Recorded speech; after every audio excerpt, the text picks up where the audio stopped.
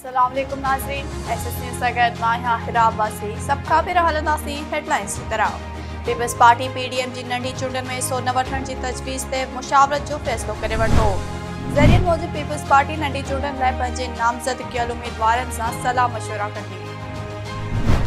तहरीक इंसाफ़ के अगवा फवाद चौधरी एक दफो बीहर इलेक्शन कमीशन से तनकीद कदे है इलेक्शन कमीशन मुंशियन से बदल है ट्विटर से जारी कल बयान में फवाद चौधरी तो बस घड़ो थो जेल भर तहरीक लाए तैयार आयो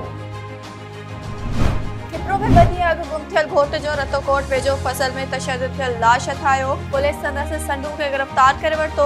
पुलिस के चवण है दौलत वल्द उत्तम के संदस संडू